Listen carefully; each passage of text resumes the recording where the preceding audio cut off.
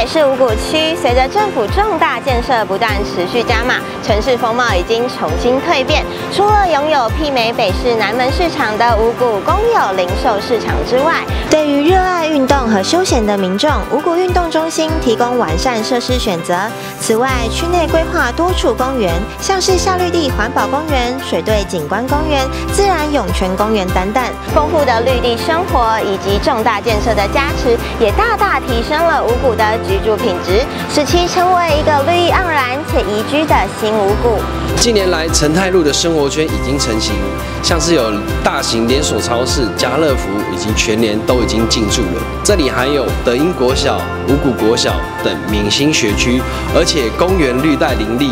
这也是越来越多人移居五谷的原因。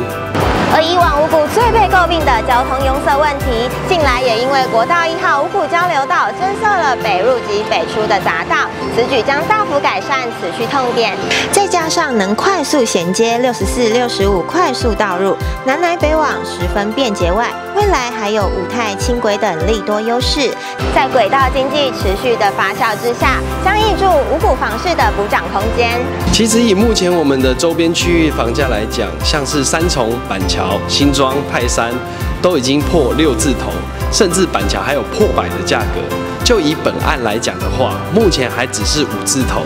许多双北的课程比价过后，以 CP 值考量的话，我们会是最好的选择。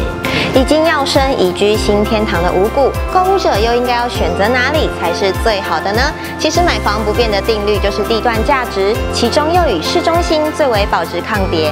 而区内目前唯一指标个案陈泰美推出两到三房产品，就以方正的格局规划，加上精选建材配备，磁吸不少刚性需求的青年小家庭的目光。